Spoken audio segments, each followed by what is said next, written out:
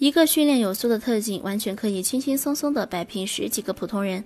然而，在几十年前，有一个悍匪仅凭一己之力跟三十七名特警对峙，最终造成十一人受伤，五人当场身亡。这个悍匪名叫万光绪，出生于一九七零年，祖籍江西永修县。万光绪从小就很有活力，上中学的时候因为身体素质优异，考进了当地体校。经过几年训练，体育成绩优异的万光绪被当地体工队选中，成了一名射击运动员。万光绪最擅长的项目是二十五米速射，经常可以打出令人羡慕的成绩。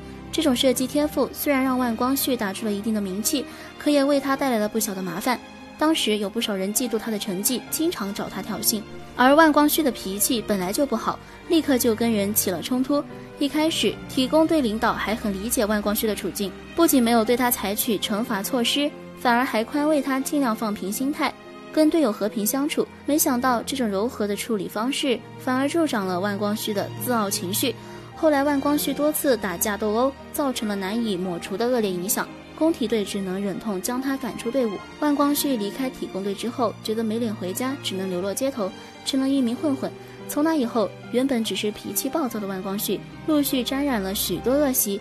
他逐渐失去了对法律的敬畏。一九九五年十一月，万光绪抢到了一把手枪，他靠着这把武器疯狂作案，接连害死了许多普通百姓。受到警方通缉后，万光绪流亡到广州，在那里他彻底沦为杀人狂魔。一九九七年，万光绪觉得风头已过，偷偷潜回岳父家里。当地警方得到情报后，立刻进行抓捕行动。三十七名特警赶到后，彻底封锁了其藏匿的楼房。万光绪在这种情况下负隅顽抗，靠着自己的枪法跟特警们枪战了两个多小时。在这场激烈的决斗中，特警们付出了非常惨痛的代价，终于让万光绪这个逍遥多年的杀人犯彻底伏法。